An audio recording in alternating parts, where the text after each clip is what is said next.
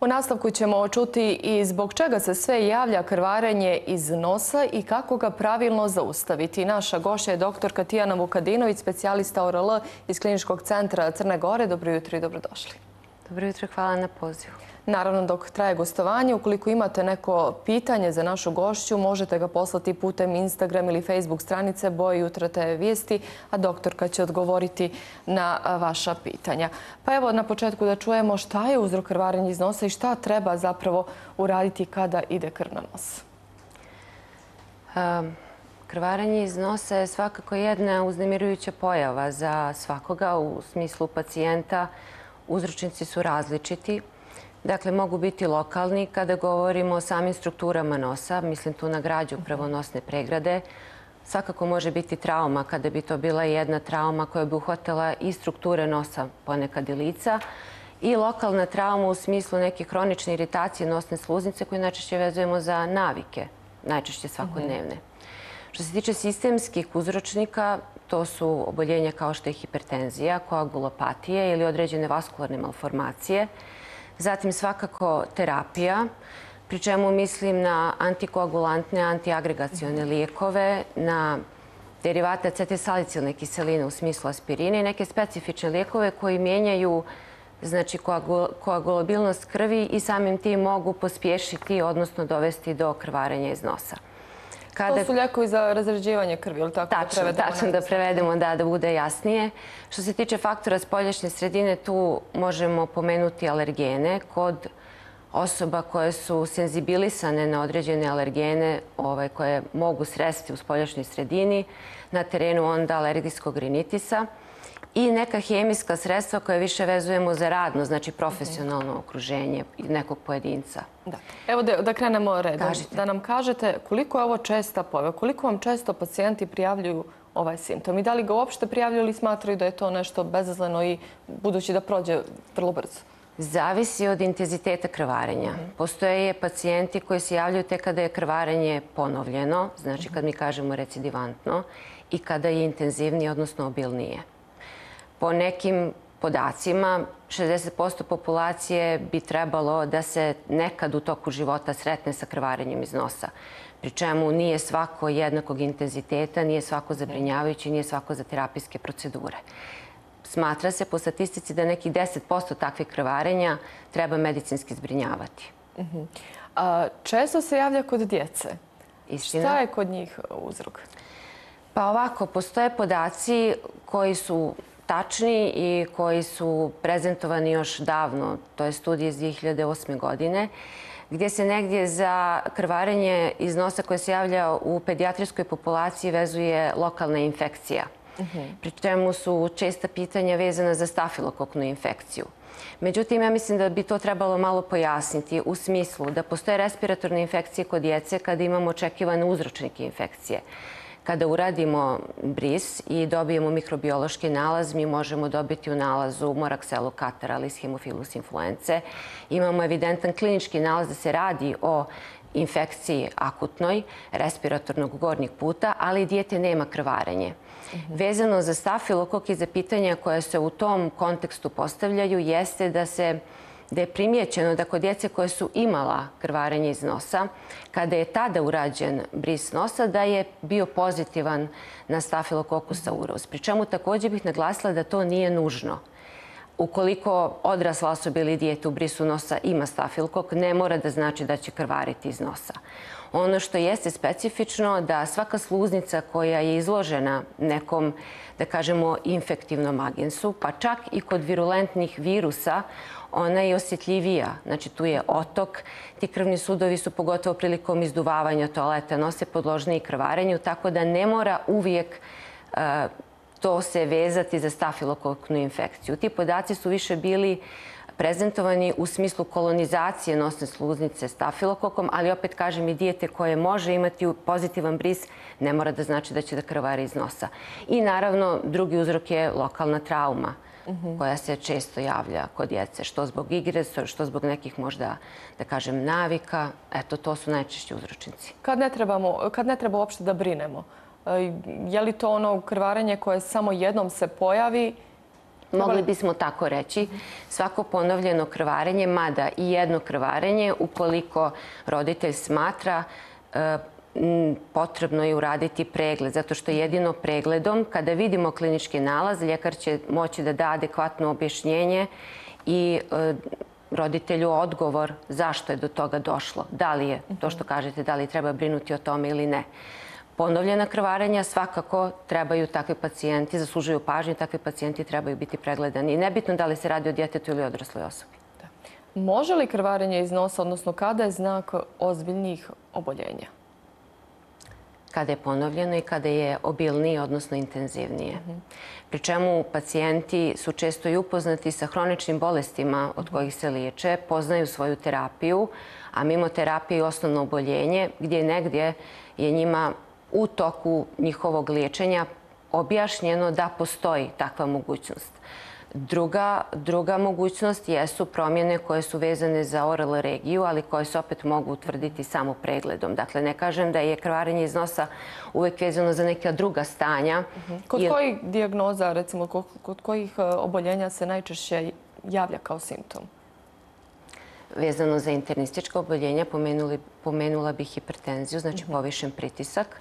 Određena oboljenja jetre koja mogu promijeniti znači, koagulacioni status krvi i kardiološka oboljenja u smislu terapije koja se tada ordinira, koju pacijent je u obavezi da uzima svakog dana.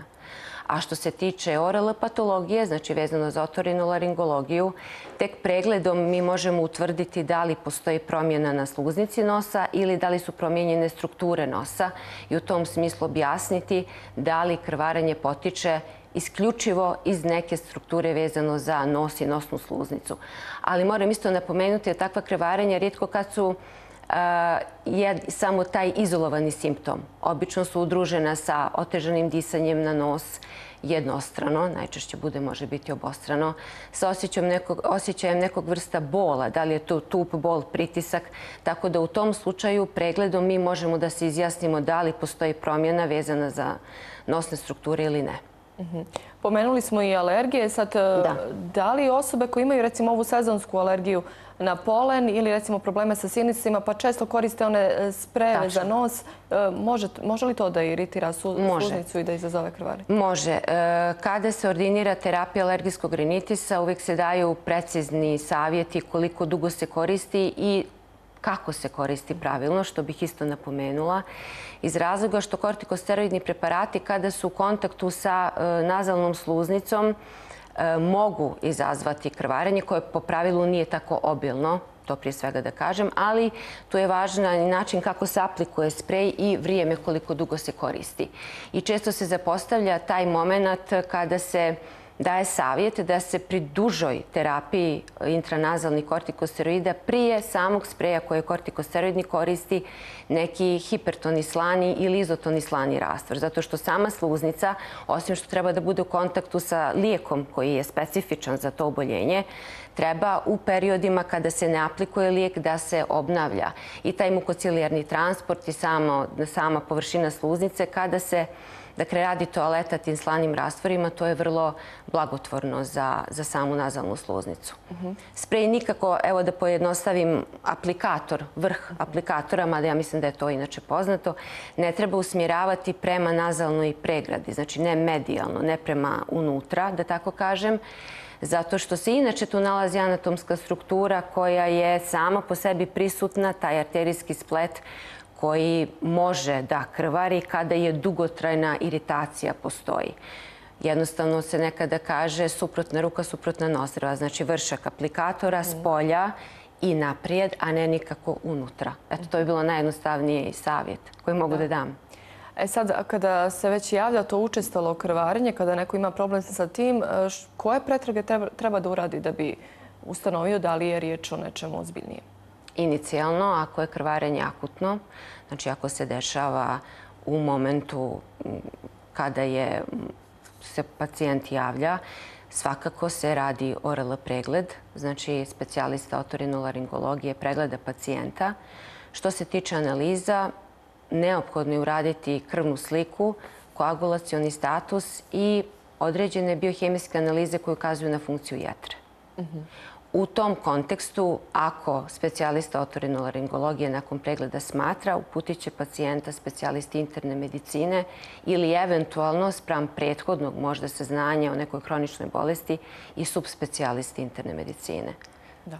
E sad, kako se pravilno zaustavlja krvarenje iz nosa? Nas učili da treba da glavu zabacimo unazad i da podignemo lijevu ruku. Je li to dobar način ili je to sasvim pogrešno? Pa, znate kako?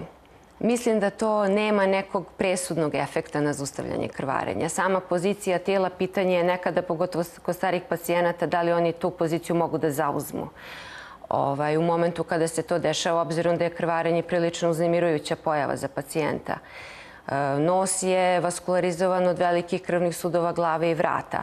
Ono što može da uradi svako za sebe jeste da uradi digitalnu kompresiju. Digitalna kompresija znači da se iskoriste jagodice dva prsta, kaže prsta i palca, i da se izvrši kompresija na predio, kako bih rekla, nosnica, znači hrskavičevi dio nosa. Mhm. Tu, tačno, Iznad, je li tako? Ispod kostiju. Znači ne kosti, nego hrskavičevi dio nosa. Tu izvršiti kompresiju, jer tu se inače nalazi, malo prije pomenuto, tada dolaze, znači vršimo kompresiju na taj prednji dio nosne pregrade, gdje se nalazi taj arterijski splet.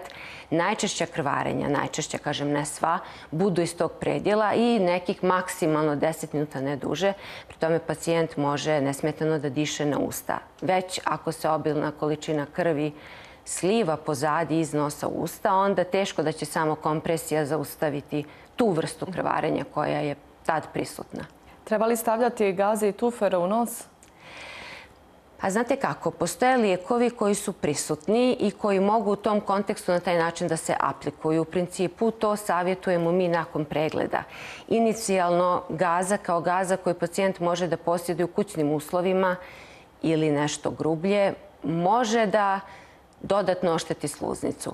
Tako da u tom smislu takvi materijali koji su grubi, mislim da nisu baš adekvatni.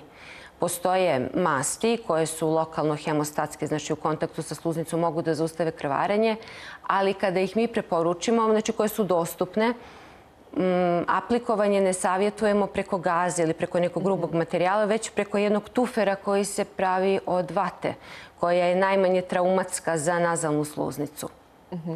E, treba li da nas zabrine noćno krvarenje iz nosa? Pa, noćno krvarenje može da se desi iz više razloga, ali mislim da je podjednako značajno kao krvarenje u bilo kom dijelu dana u smislu uzroka krvarenja koji ne potiču iz oral regije, najčešća su jutarnje ili večernje krvarenja. To je neka prosječna statistika, ali noćno krvarenje njemu treba dati jednaki značaj kao i bilo kom drugom krvarenju u toku, mislim, periodu nekog drugog dijela dana. Doktorka, hvala vam mnogo što ste izvojili vrijeme za nas. Hvala vam na pozivu. Što ste dali sve ove savjete.